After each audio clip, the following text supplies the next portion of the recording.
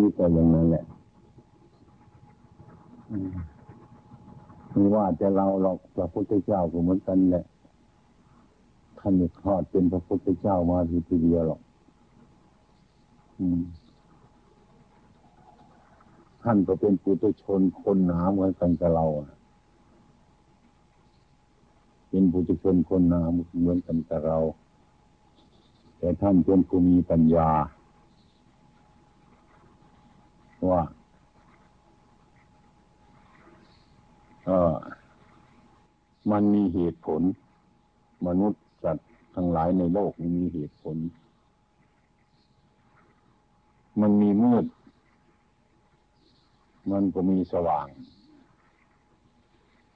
มันมีร้อน มันก็มีเย็น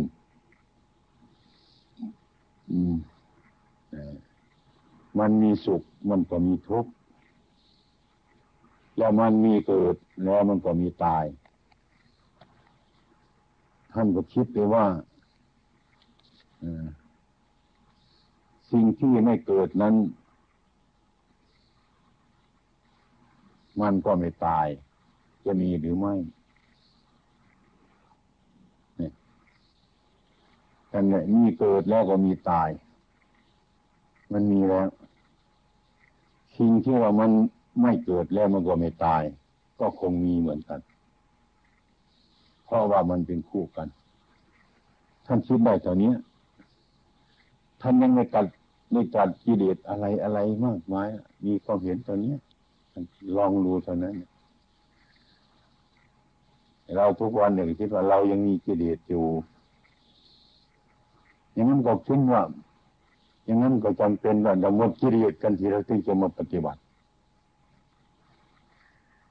ถ้าพูดอย่างนั้นเราต้องหมดกิเลสกัน เราจึงจะมาปฏิบัติ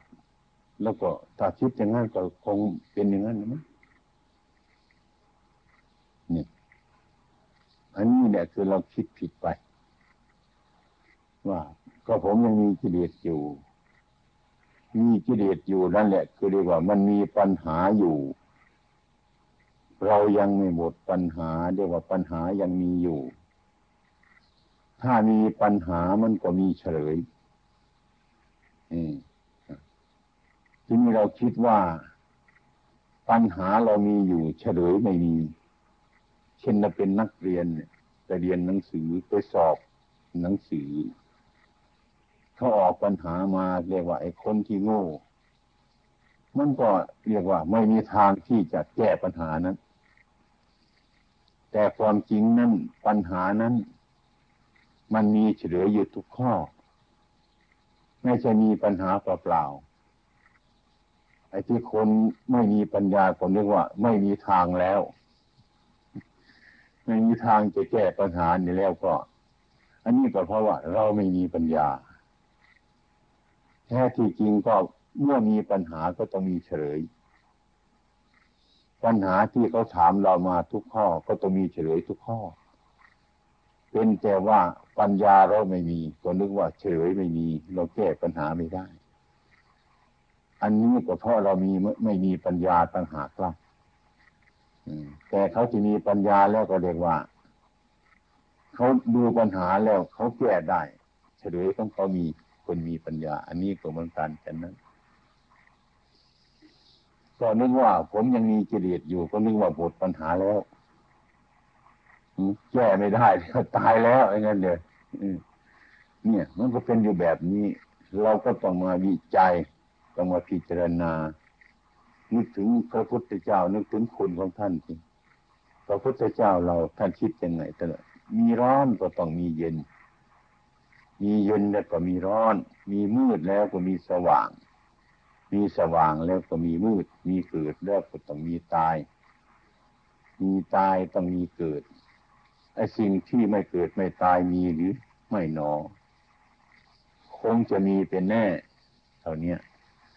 ที่เดือดทันยังเยอะนี่ราหุนพิมพายังเต็มบ้านอยู่เลยทรัพย์สมบัติยังเต็มบ้าน พอแต่ท่านรู้สึกอย่างนี้เท่านั้นท่านก็มาพิจารณาดำเนินการพิจารณาไปเรื่อยๆอืมนึก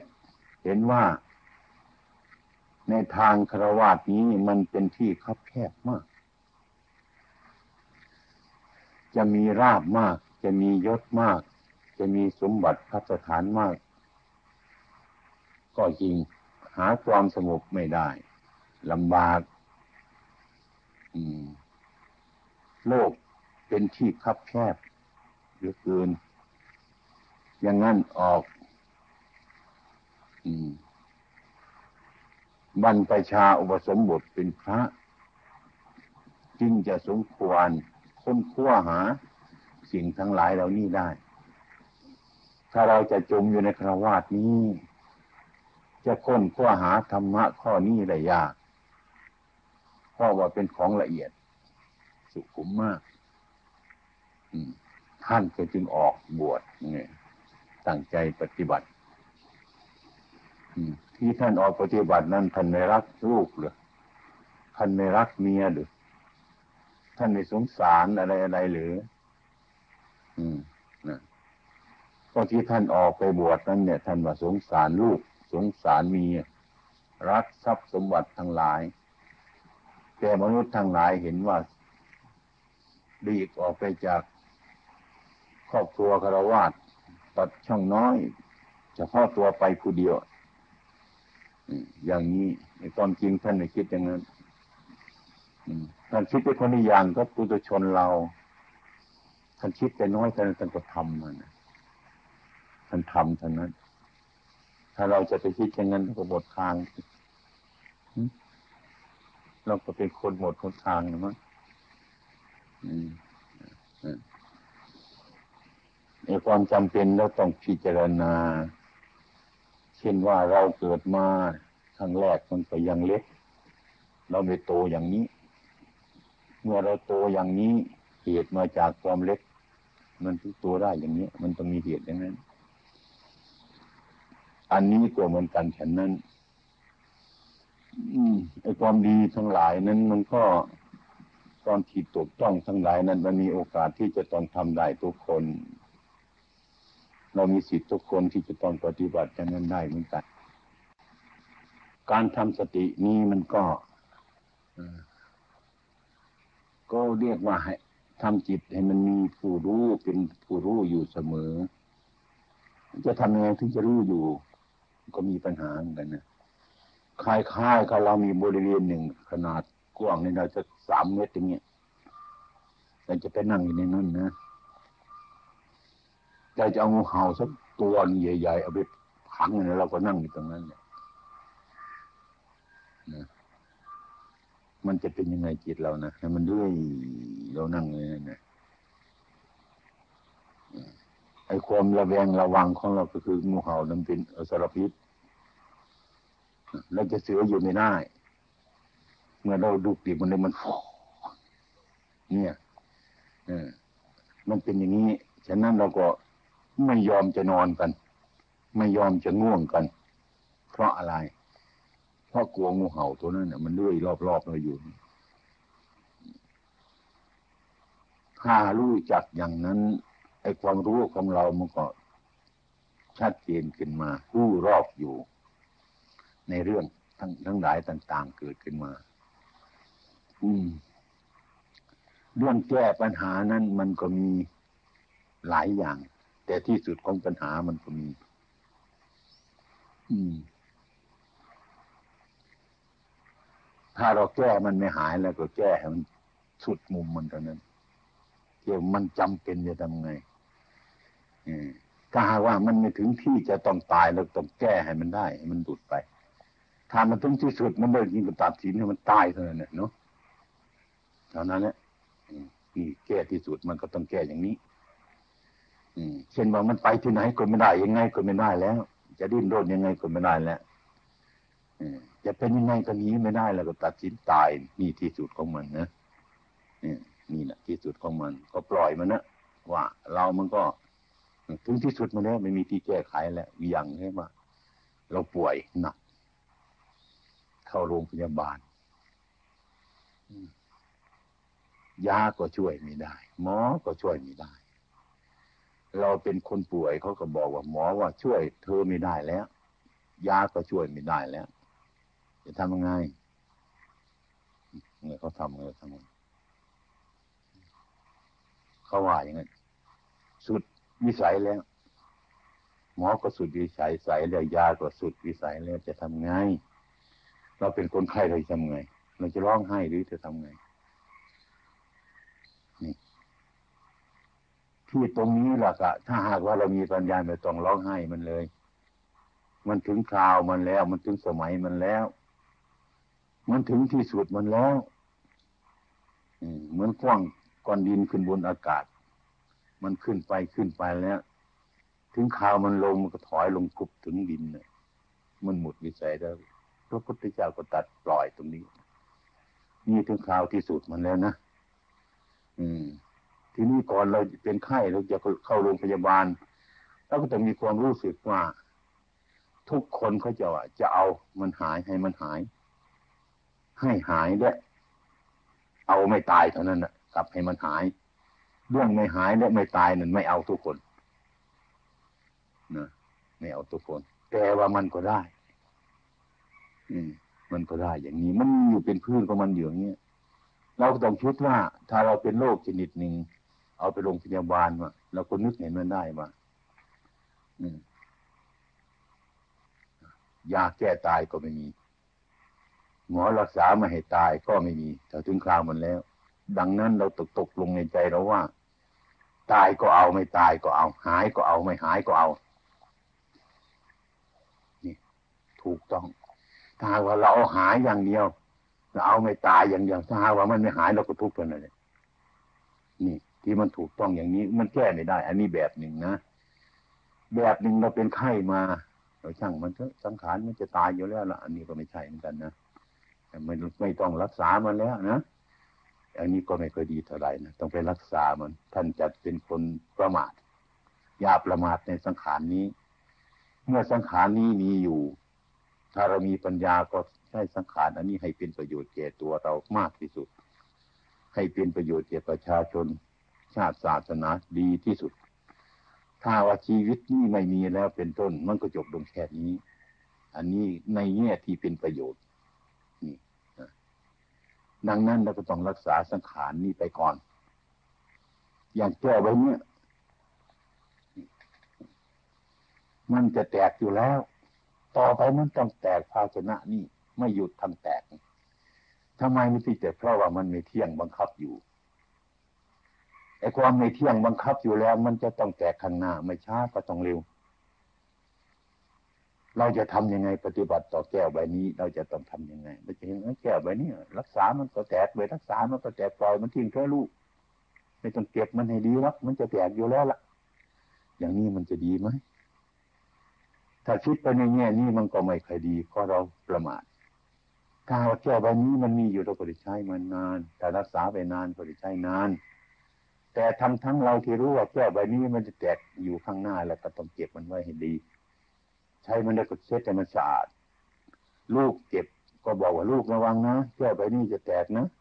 เก็บให้ดีนะลูกนะต้องกำชับเลยด้วยยอย่างนี้ทำไมก็พอเห็นว่าแก้วใบนี้มันจะแตกเป็นอยู่ ไม่ใช่ว่าลูกเอาทิ้งที่ไหนก็ทิ้งเถอะมันจะแตกอยู่แล้วละอย่ารักษามันเลย อย่างนี้ก็ไม่ใช่ คนรู้จักธรรมะ ไม่ใช่คนมีปัญญา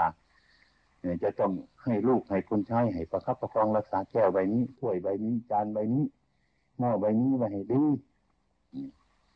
ถ้าหม้อใบนี้ถ้วยใบนี้มีรักษาใบดีๆนานๆก็อยู่นานๆใช้ประโยชน์นาน ไม่จำเป็นจะซื้อมาบ่อยๆมันเต็มที่แล้วมันถึงข่าวมาแล้วนะมันแตกไปถึงข่าวมันจะแตกจริงๆก็จะให้มันแตกถึงข่าวมันยังไม่แตกก็รักษามันไว้ นี่เป็นต้นเรารักษามันก่อนนี่เช่นนี้เราเราเราปฏิบัติตามโลกนี่ตามสังขารนี้มันก็รู้อย่างนั้น ถ้าถึงที่สุดมันแล้วก็ไม่มีใครจะรักษาอะไรมันได้ เปลี่ยนไปตามสภาพอย่างนี้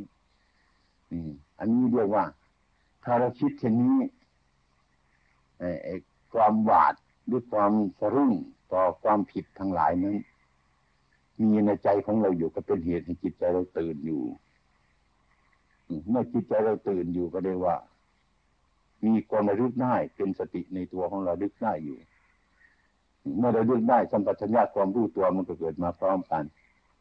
เมื่อมีสติมีมีสัมปชัญญะปัญญาก็วิ่งมา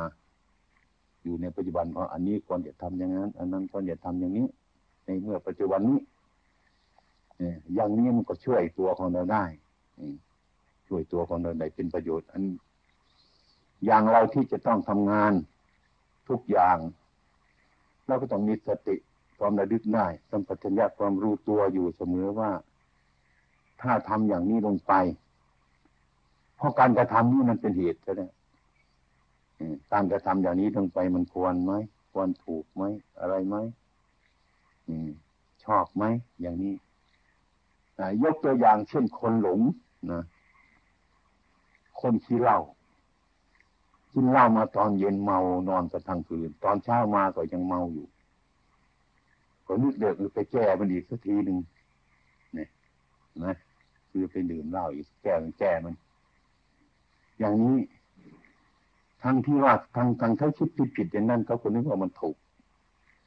อาตมาเมื่อเมื่อตอนเย็นเมื่อวานนี้มันถูกกระบองเขายังช้ำอยู่ ตอนเช้ามาแก้อีกเป็นไงเอากระบองซ้ำกับไปเตรียมมันช้ำเนี่ย ไม่ยอมกันนะเนี่ยอืมอันนี้นะมันมันมันมันมีความคิดเช่นนี้เป็นเรื่องบทแก้มันไอ้ความคิดเช่นนี้ก็เรียกว่า มันมีสติอยู่ มันมีสติอยู่แต่มีสัมปชัญญะอยู่แต่ไหมปัญญาไม่มีความเห็นมันไม่ถูกต้องฉะนั้นคนจึงหลงผิดไปหลงถูกนั่นว่า ว่ามันผิดหลงผิดนั่นว่ามันถูกไปอย่างนี้ อืม อันนี้ถ้าว่า เราเห็นโทษจริงทั้งหลายเหล่านี้แล้ว มีความละอาย เมื่อมีความละอายเท่าไรก็มีความระวังเท่านั้นมันมีความกลัวเท่าไรก็มีความระวังเท่านั้น ไม่ประมาทอย่างจะตมาว่าเมื่อกี้เนี่ยเอางูเห่ามาปล่อยไปสิในในกรงขังกันเดียวกันเราอะขังอยู่นั่นเราก็นั่งงูเห่าก็เรื่อยอยู่นั่นตัวสองตัวให้มันวนอยู่นั่นแหละเราก็แสนที่จะระวังนะอืมถ้าเรารู้ ลูกปีกเวลางูเห่ามันจะแก่พังพานฟอเราจะนั่งรับตายก็ไม่ดับมันงูตัวนี้มันจะอยู่ตรงไหน มันจะทำอะไรเดี๋ยวมันจะมากัดเราอะไรเงี้ยนี่เรียกว่าเราเห็นความผิดอยู่เสมอก็มีสติอยู่ และมีความรู้อยู่เท่านั้น ในกิจการงานของเราบางอย่างอย่างนี้ ในการงานของเจ้าของเหมือนกัน เรารู้รอบทั้งหลายอยู่อย่างนี้ ก็เรียวมีสติอย่างนี้เมื่อมีสติและก็มีสัมปชัญญะ มื่อมีสติสัมปชัญญะมันก็ไปช่วยเอาดึงดึงเอาตัวปัญญานะมาพิจารณา อืมตัวปัญญา สติความระลึกได้ระลึกแต่สัพพัญญะเอ้ยมารู้เลยรู้ตัวเลยรู้ตัวเราทำอะไรอยู่เดี๋ยวนี้ เราคิดอะไรอยู่เดี๋ยวนี้ เราพูดอะไรอยู่เดี๋ยวนี้ ก็เป็นเด็กปัญญามีความรู้กันเลยถึงถูกหรือผิด ควรหรือไม่ควรทั้งสติทั้งสัพพัญญะ ทั้งปัญญาจะมารวมกลุ่มกันในอันเดียวกันนั้นสามารถที่จะแก้ปัญหาอันนั้นได้ โดยทางที่ถูกต้อง อย่างนี้เรียกว่าการพินิจการพิจารณาแล้วก็สติสัมปชัญญะนี้บทถึงพูดถึงการปฏิบัตินี้มันก็เกี่ยวแก่การสงบเกี่ยวแก่การสงบสงบ นะจะเกิดขึ้นได้ มันก็เกี่ยวแก่การปฏิบัติธรรมะ เป็นต้นว่าความผิดความถูก รวมแล้วก็เรียกว่าศีลสมาธิปัญญา มันก็รวมมาตรงนี้ อาศัยการควบคุมเช่นนี้ เมื่อเราเห็นอยู่ เมื่อเมื่อมันมีความผิดอยู่ แต่ว่าเออไม่ถึงเกียจะเสียหายอะไรมาก อย่างนี้ อย่างที่ไอ้ความสุขเกิดขึ้นมามันก็ดึงเราไป ไอ้ทุกข์ไอ้ความทุกข์เกิดขึ้นมามันก็ดึงเราไป ดึงไปในทางดีบ้างดึงไปในทางชั่วบ้างเราเป็นคนกลางอย่างนี้ทำยังไงบางทีก็วิ่งไปตามอันนี้ บางทีก็วิ่งไปตามอันนั้น บางทีก็วิ่งไปตามสิ่งใดนั้นนี่โดยเกิดยุ่งเกิดคิดมาก เกิดประสาทมากอะไรต่างๆนานาหลายประการ มันเป็นธรรมดาของมัน แต่พระพุทธเจ้าตรัสสอนให้หยุด ให้หยุด การให้หยุดก็คือการทำจิตให้มันนิ่งฝึกจิตอันนี้ฝึกจิตอันนี้ การทำสมาธิเป็นบางครั้ง ก่อนจะมีเวลาที่ต้องทำตอนเย็นตอนเช้าหรือที่ไหนมีโอกาสห้านาทีสิบนาทีสิบห้านาทีกำหนดสมาธิเพื่ออบรมจิตให้มีกำลัง เมื่อจิตมีกำลังแล้วมันมีความหยุด ถ้ามันมีความหยุดมันจะดูอารมณ์ได้ เมื่อดูอารมณ์ได้เป็นต้นมันจะรู้จักผิด รู้จักถูก รู้จักอารมณ์ มันจะเห็นชัดตรงไปว่าอันนี้เป็นอารมณ์ อันนี้เป็นจิต อันนี้เป็นกิเลสอันนี้เป็นจิต อันนี้เป็นอารมณ์ มันจะแยกกันออกเป็นอย่างที่มีการมาว่าสุมในในสมองเราหลาย ๆ อย่างมันก็คลี่คลายไป มันก็เหลือแต่อารมณ์หรือจิต อันนี้เป็นจิต อันนี้เป็นอารมณ์ ถ้าเราเห็นชัดเช่นนี้เราจะเห็นความไอ้ที่อันนี้มันผิด อันนี้มันถูก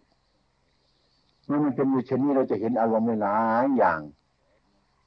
ที่เราอยู่ในจุดอันนี้ อารมณ์นี้นะชอบให้เราวุ่น บางทีเรื่องจะไม่ควรจะวุ่น ถ้าเราไม่มีปัญญามันก็วุ่นถ้าเรามีปัญญาแล้วจิตที่มันควรจะวุ่น อารมณ์ที่ควรจะวุ่น มันก็บรรเทาลงไปเพราะแก่ตัวเรื่องมันอั อันนี้สำหรับที่จะทำให้มีสติ ให้ควบคุมจิตของเราถ้าหากว่าเมื่ออะไรในการงานเขาจะมันเกิดขึ้นมาไอ้คนนั่นสรรเสริญเราบ้าง คนนี้นินทาเราบ้าง อันนี้มีความเสียหายไปบ้างหลายหลายอย่าง ยิ่งเป็นนายคนเรายิ่งแล้วกันเท่านั้นเนี่ยเดี๋ยวคนนั้นพูดอย่างนี้ เดี๋ยวคนนี้พูดอย่างนั้น อย่างนี้ อันนี้ต้องอาศัยการหยุดดูอารมณ์ ช้าๆพิจารณามันเยือกเย็น บางทีไม่มีเรื่องอะไรมาก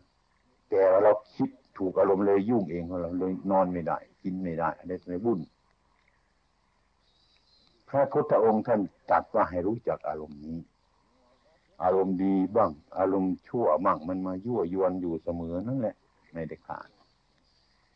ทีนี้เราก็ต้องเห็นอารมณ์ที่ว่ามันดี อารมณ์ที่ดี มากระทบเราก็เห็นว่าเอออันนี้มันไม่แน่สำหรับในมันขี้คลายออกมา อย่ามีอุปทานมากอารมณ์ชั่วมากระทบอันนี้มันก็ไม่แน่เหมือนกันทั้งดีทั้งชั่ว ทั้งสุขทั้งทุกข์นี้มันก็ไม่แน่ อืม อะไรมันเกิดขึ้นมาแล้ว อันนั้นมันก็ดับไป อย่างทุกข์ที่มันเกิดขึ้นมานี่ มันก็ดับไปเท่านั้นแหะมันไม่อยู่หรอกมันทำไมมันถึงดับ มันเกิดแล้วต้องดับ สุขก็เหมือนกัน ถ้าสุขเกิดขึ้นมาแม้คนเรามันก็ชอบใจเหลือเกิน อย่าไปยึดมัน อันนี้เราก็บอกมันไม่แน่เหมือนกัน ดูไปไม่กี่วันมันก็หมดเหมือนกัน ไม่แน่เหมือนกัน อืมวันนี้อันนี้มันก็สุขมันก็ไม่แน่ทุกมันก็ไม่แน่สิ่งที่ชอบใจก็ไม่แน่สิ่งที่ไม่ชอบใจมันก็ไม่แน่สิ่งที่เรารักมันก็ไม่แน่สิ่งที่เราเกลียด มันก็ไม่แน่มันก็เป็นอยู่อย่างเนี้ย ถ้าเราไม่รู้เท่า สิ่งทั้งหลายเหล่านี้เราก็ไม่ดูจากการปล่อยวาง สุขก็มาแบกไว้ ทุกข์ก็มาแบกไว้ ชอบใจก็มาแบกไว้ ไม่ชอบใจก็มาแบกไว้มาแบกในในนี้หมดความเป็นจริงพระพุทธเจ้าท่านปล่อยวางว่าเห็นของทั้งหลายเหล่านี้มันไม่แน่ ดูสิ่งที่ไม่แน่นี้โดยความมีสติสัมปชัญญะด้วยปัญญาของเรามันก็เห็นทำตามเป็นจริงมันอืมอย่างคนอย่างเป็นนายคนเนี่ย ถูกน้องคนนี้มาฟ้องนายเป็นงั้นงั้นงั้นงั้นบางคนไม่เข้าใจใจลูกปุ้มบ่าเอาเล่นงานมาด้วยนะเนี่ยอย่างนี้ไอ้ความเป็นจริงคนหยุดจุก่อน ว่าเรื่องอันนั้นมันเป็นยังไง มันถูกต้องไหมอะไรตรงนี้ให้มันคลี่คลายออกเนี้ยเคยมีอย่างนี้ให้รู้เหตุผลจะเกิดค่อยๆว่ากันไป อย่าวูบวีบเลยทีเดียวนี่เดียกว่า เรามีสติอยู่จะจัดการจะทำการงานอะไรก็เลยมากมันก็ถูกต้องดีเกิน เป็นต้น อันนี้เป็นเครื่องรักษา เป็นที่หน้าที่ที่จะปฏิบัติในการงานทุกประการ ไม่ว่าทางโลกหรือทางธรรมก็ต้องพิจารณาอย่างนี้ อยากใจคนเหมือนกัน แต่คนก็เป็นธรรมชาติไม่เหมือนกันอย่างนี้ ถึงไม่เคยคิดเท่าไรก็ มันต้องแพ้ไปต้องเป็นบ้าเลยเลยเลยเป็นว่าเสียประสาทเนี่ยอาตมาเรียกว่า เออไอ้คุณนั่นน่ะ ไอ้ความคิดนี่มันผิดแล้วมันไม่ถูก ถ้าหากว่าคนทั้งหมดมันเหมือนกัน คุณก็จะเป็นบ้าเหมือนกันน่ะ คุณจะอัศจรรย์ในคนทำไมมันเหมือนกันเยอะเกินทำไมมันไม่แปลกกัน คุณก็จะคิดอย่างนี้อีกเหมือนกันคนคนเหมือนกัน คุณก็จะเป็นว่าเหมือนกันอีกคุณมาเห็นคนเหมือนกัน คุณจะเป็นว่าเหมือนกันไอ้แท้จริงก็คนนั้นไม่มีปัญญา อาตมาได้ยกตัวอย่างว่า สัตว์สองอย่าง อันนี้มันเป็นไก่อันนี้มันเป็นเป็ดสองคนมาดูสัตว์สองอย่างนี้ คนหนึ่งมันว่าไม่เป็ดทำไมไม่เหมือนกับไก่ไก่ทำไมไม่เหมือนกับเป็ดเท่านี้ ไม่ยอมรับมันก็เป็นบ้าเท่านั้นแหละถึงคุณจะเป็นบ้าเป็ดมันก็เป็นเป็ดอยู่อย่างนี้ไก่ก็เป็นไก่อย่างนี้แกก็เป็นคนแก้ปัญหาไม่ดุด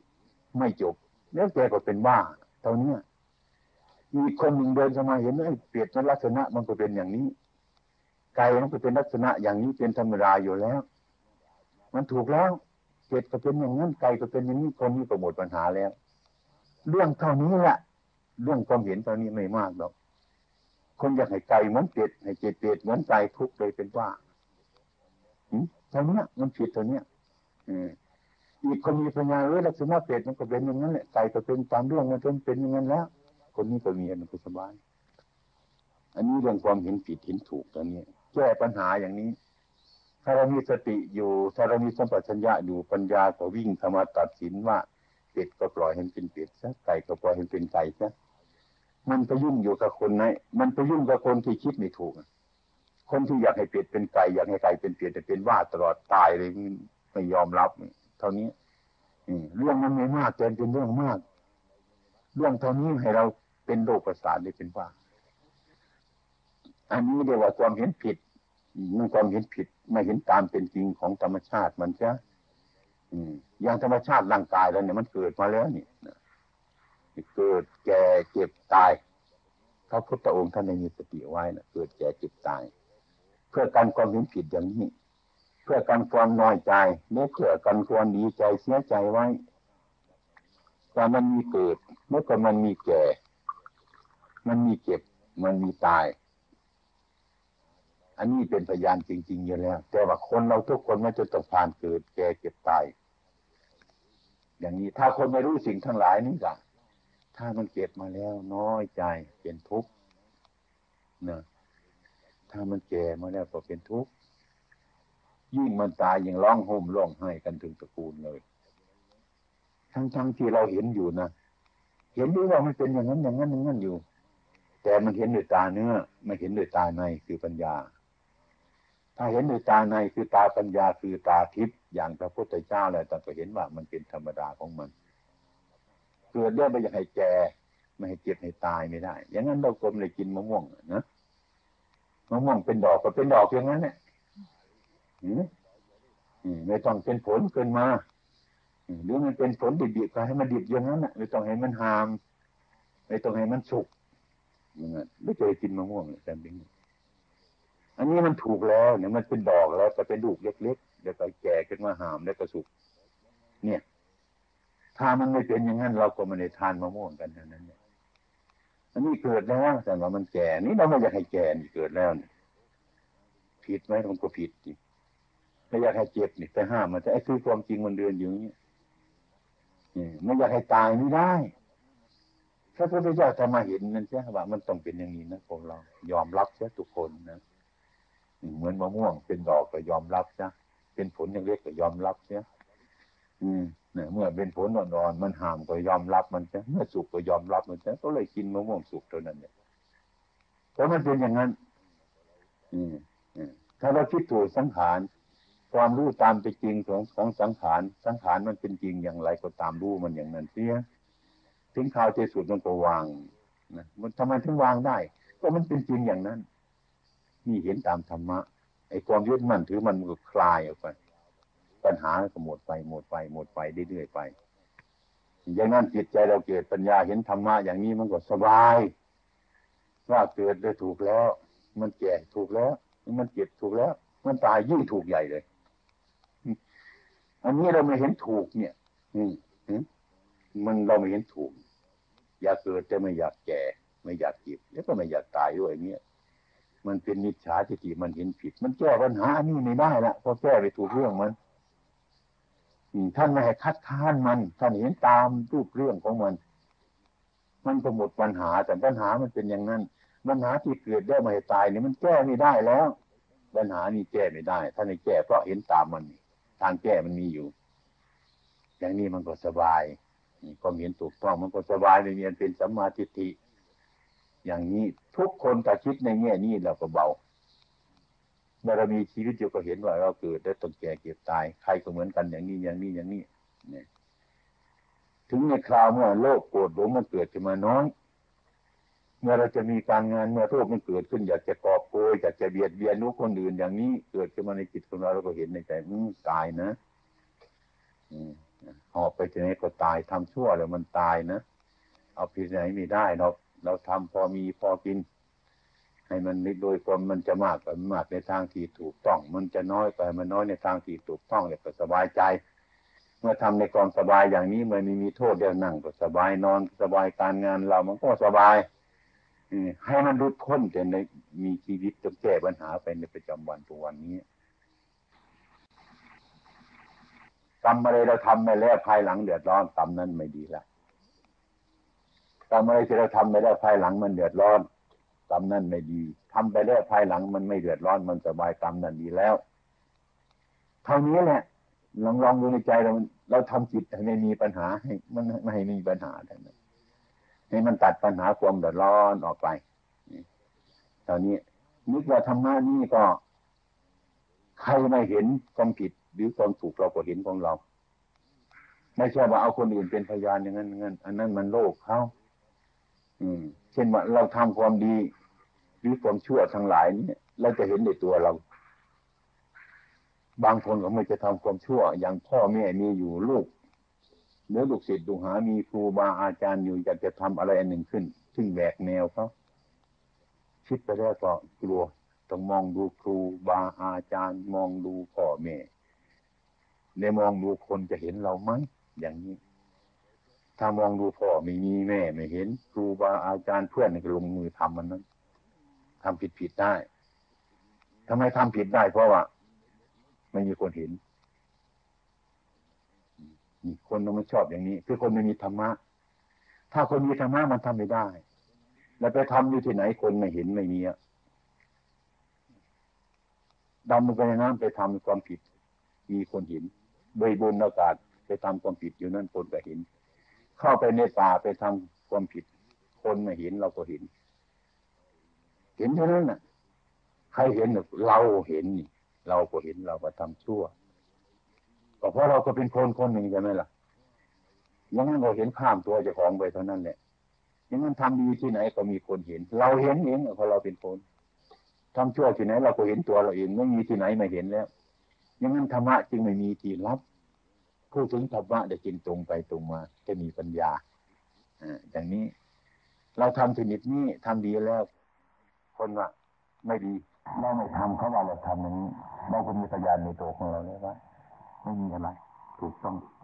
มันก็สบาย อันนี้คนมีสติ อันนี้คนมีธรรมะ เเรื่องข้างนอกเราก็ต้องพิจารณาเรื่องเขาว่าผิดเรื่องเขาว่าถูกเรื่องเขาว่าดีที่เขาว่าชั่วเมื่อเขามินทาเราแล้วก็น้อมมาดูตัวของเราจริงเขาไหมเขาว่าเราไม่ดีทำอย่างนั้นอย่างนั้นอย่าคุณไปต้านทานเขาจะว่าเออเรื่องของคนอื่นเรื่องใครก็ช่างถ้าเป็นเรื่องเราต้องรับฟังนี่ดีแล้วเขาว่าเราไม่ดีเราไม่ดีไม่ตรงไหนแต่ตรงควร ทุกแก้ไขนะถ้าบางทีมันเห็นคนเรามันตัวเออไม่ดีไม่ดีเราก็ปล่อยมันออกเคลียร์มันออกนะตรงนั้นไม่ดี ตรงนั้นดีนะตรงนั้นดีเราก็เก็บไว้ ที่เราทำถูกแล้วเขาว่าไม่ถูกนั้นเราก็เราก็ฟังไว้อืออันนั้นเขาพูดผิดแล้ว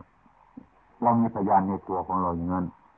ใจของผู้ปฏิบัติธรรมนี่ต้องมีความเยือกเย็นอยู่ตลอดเวลาให้ตรวจดูเจ้าของอย่างนี้ด้วยสติด้วยสัมปชัญญะ อันนี้เป็นที่พึ่ง อัตโนเจตยัตนังเป็นเตือนตนด้วยตนเอง อย่างนี้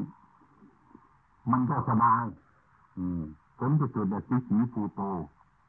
เอาตนเองเป็นพยานของตน อืมเราทำสิ่งนั้นเมื่อเรามีธรรมะเนี่ยเดี๋ยวพระกันอยู่เพราะอันนั้น อยู่เพราะความจริง อยู่เพราะความถูกต้องไอ้เรื่องคนอื่นนั่นก็ไม่เป็นประมาณเรื่องเขาจะนินทานั่นยอมรับ อันนั้นคือเขาแนะเราเพื่อให้เรามีสติเพื่อเราตื่นตัวขึ้นมาเราดูเราอีกทีนึงถ้ามันดีเราก็เยียนมันไว้อย่างนี้นะเดี๋ยวอย่างมันจะเขาเตือนเราบางทีท้าว่ามันมีเออจริงของเขาจะพยายามแก้ไขออก มันมีประโยชน์ทั้งนั้นแหละนะบางคนไม่ยอมรับนะถ้ามาว่าเราโกรธเขาเลยไม่ยอมรับอย่าเพิ่งโกรธเขาดีๆแล้วเขาเตือนเรา เราจะโกรธที่ตัวเราเองมันน้อยนะมีไปชมเชยเจ้าของเรื่องไปคนถ้าคนเป็นมาคนเนี่ยเขาให้สติเราแล้ว อย่างพวกลัทธิเช่นจิตจิตจิตเป็นก็ปฏิบัติกัน นั่งสมาทานทำจับประโงกอย่างนี้ อาจารย์เขาจะวงมาตีหัวตรงหัวมองเห็นหน้าเป็นอาจารย์ยกมือเป็นขอบคุณครับนะทำไม เขาเข้าใจว่าอาจารย์เตือนเขานะดีมีคนเตือนเราอย่างนี้มันดีแล้วเพราะเขาเตือนตัวเขาไม่ได้ มีคนมาเตือนเขาเนี่ยมันดีแล้วให้เขาตื่นขึ้นให้เขาสะดุ้งขึ้นให้เขามีปัญญาให้เขารู้ตัวเขาขึ้นเขาคิดไปในแง่นั้นนี่ก็ดีเท่านั้นเนี่ยยอมรับสิ่งที่มันไม่ขัดข้องไม่มีหรอกโลกสารพัดอย่างสารพัดอย่าง เรื่องคนจะนินทาชมเชยนี้มีอยู่ทุกขณะทำดีมันก็ว่าทำชั่วมันก็ว่าอะไรก็ละพัดอย่าง ถ้าเรามาอาศัยตัวของเราไม่มีที่อยู่ลำบากมากลำบากดังนั้นจึงปฏิบัติธรรมะให้บรรเทาให้มันคลี่คลายในการอุปทานทั้งหลายนั้น เป็นต้นหนึ่งสำหรับแก้ปัญหาอแก้ปัญหา คืออย่าพึ่งมันดูดไปก่อน รับรู้ไว้อย่างก็เป็นนิมนต์จะมา นิมนต์นะหลวงพ่อนิมนต์นะรับรู้ไว้ไม่ต้องรับรู้หรอกนิมนต์ไปให้ยิฉันจริงๆอ้าวไม่ได้ ยังไม่รับ รับรู้ไว้เท่านั้นแหละ อืมยังมันก็ไปไม่ได้อ้าวเมื่อมันตายจะไปได้เดี๋ยวอ้าวมันไม่ตายแล้วทำไมโยมรู้ล่ะรู้ไหมเมื่อไรโยมจะตายรู้ไหม อาตมาว่าอาตมารับโยมนี่มันถูกแล้วว่ารับรู้ไว้บางทีมาจนมันจะเป็นปวดท้องไม่อยู่จะทำไงเนาะมันก็ต้องไม่ได้ไปอันนี้จังมันไม่แน่นอนนะบางทีอาตมานอนในใส่ลูกรเนี่ยนะกลัวมันตายในห้องกลัวเขาจะไปเอาลำบากปิดตุกรไว้ จะไปนอนแล้วยังมันเปิดตุกรไว้ระวังมันไม่แน่นี่ไม่แน่ อันนั้นความระวังของเรา ถ้าหาเราความระวังถึงที่สุดของเรามันเป็นไปก็ถึงข่าวเหมือนกันถึงข่าวขอเราปฏิบัติธรรมะเท่านั้นมันถูกต้องแล้วก็พอแล้ว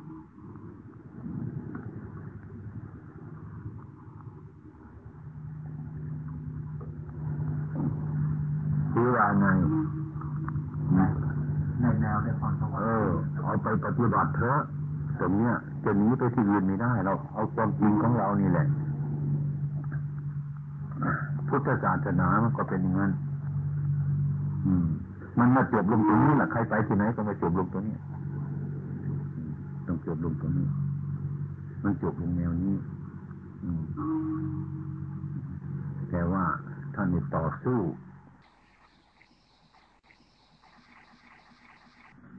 ท่านอดทนพระพุทธเจ้าของเรา ต่อสู้อดทน เรื่องต่อสู้เรื่องอดทนนี้เป็นแนวทางปฏิบัติกำลังเล่าให้พวกหนุ่มๆเนี่ยว่า ผมยังมีกิเลสอยู่ว่ายังมีหลายร้อยคนหลายหมื่นคนน้องพ่อนั้นสบายแล้ว ผมยังเป็นผู้ไม่สบายยังมีกิเลส หลาย อืมอาตมาก็เลยถามว่า เคยรู้ประวัติพระพุทธเจ้าไหมนะท่านมีกิตเลสหรือเปล่า ท่านพระพุทธองค์ท่านมีกิตเลสยิ่งกว่าเราอีกมีครอบครัวเราตอนนี้ พระพุทธเจ้าอนาเขตอย่างในหลวงเนี่ยนะที่รักษาของกันในอาณาจักรไทย เรารักษาบ้านหลังเดียวเท่านี้ มีลูกสามสี่ห้าคนก็แย่อยู่แล้วไงนี่เรียกว่ากิเลสอันนั้นท่านรักษาในนาจักรโอ้โหนั่นเนี่ย ท่านมีกิเลสมาก พระพุทธเจ้าแต่ก่อนก็มีกิเลสมาก แต่ท่านมาพิจารณาเห็นโทษในกิเลสนั้นว่าอย่ามาเป็นทาสมันเลย เออคือมันไม่จบ ตัณหา ตัณหามันไม่ใช่ตัณหามันอ้าอยู่เสมออย่างนี้ มันไม่ทำอย่างนี้พูดถึงตัณหามันอ้า เอาอะไรมาเวียงลงไปไม่พอมันอ้าตัณหาแต่ว่าอ้า หรือว่ายอมรับทุกเวลา ก็ได้บริษัทนี้นี่ยอม คือจบไม่ได้ นาทีตันหาสมานาที แม่น้ำเสมอด้วยตันหาไม่มีเอาสิเห็นไหม แม่น้ำเนี่ยตันหาเนี่ยมันมันยังมากกว่าแม่น้ำทั้งหลาย ทั้งปวงไอ้ตันหานี่ไม่มีอะไรจะข้ามมันมีเครื่องบินเครื่องจักรเครื่องยนต์ข้ามไม่ได้ แม่น้ำสมุทรทั้งหลายยังมีเครื่องจักรเครื่องยนต์ข้ามมันได้ แม่น้ำเสมอด้วยตันหาไม่มีแม่น้ำเดียว่า มันน้อยกว่าตันหา เราข้ามมันด้วยเรืออะไรก็ได้อันนี้ต้องข้ามมันด้วยปัญญา คือมันพอไม่ได้แม่น้ำมันมีมันมีฝั่งที่จะเต็ม มันมีขอบเขตตันหานี่มันตันหาฟังเสียงมันมันอ้าอยู่เสมอ ไม่จบ ถ้าเป็นหม้อโอ่งก็โอ่งก้นมันรั่วบุรุษจะขนน้ำใส่กระทังวันกระทังฟีทางใต้ทางกระเรียงมันยังไม่เต็มไอ้ความไม่เต็มมันยืนตัวอยู่อย่างนี้เพราะอะไรเพราะตูดมันทะลุ เราทุกคนว่ะ ทุกทุกคนเนี่ยสมมติว่า ถ้าได้เงินเดือนห้าร้อยอย่างเงี้ยได้บ้างไหมก็เอาละนะนะอยู่ไปอยู่ไปอยู่ไปอีกนะ อืมไม่สักพันหนึ่งก็จะดีนี่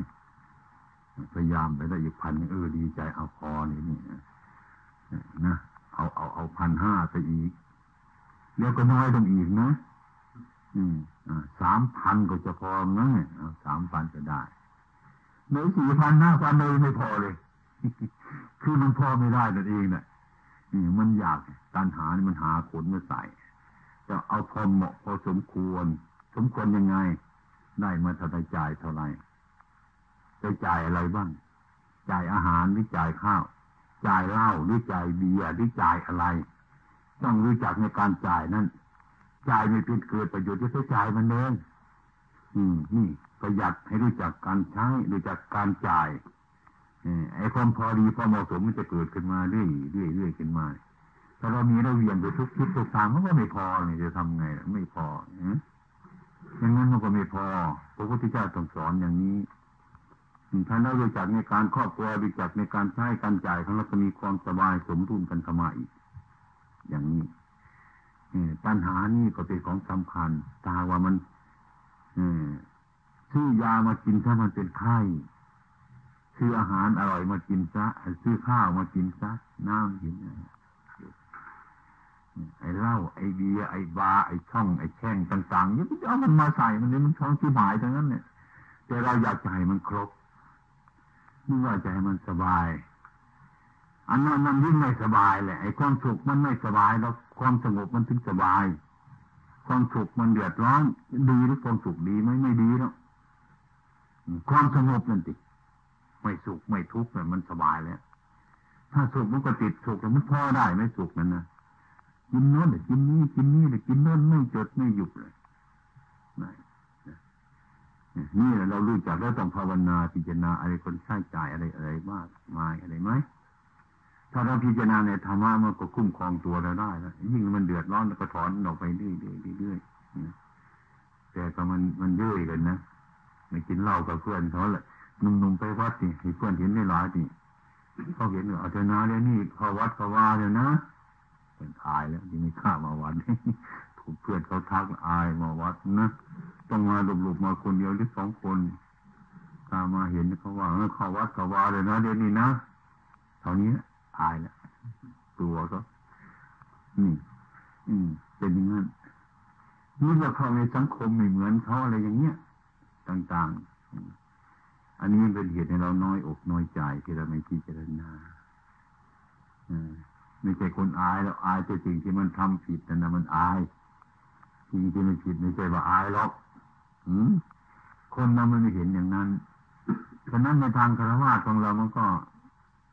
ถ้าเราคิดว่มันถูกต้องมันก็สบายไงวันหนึ่งมีเมีนายทหารคนหนึ่งขึ้นมันมากราบคนในกรุงเทพเป็นนางพยาบาลเนี่ยนะกราบ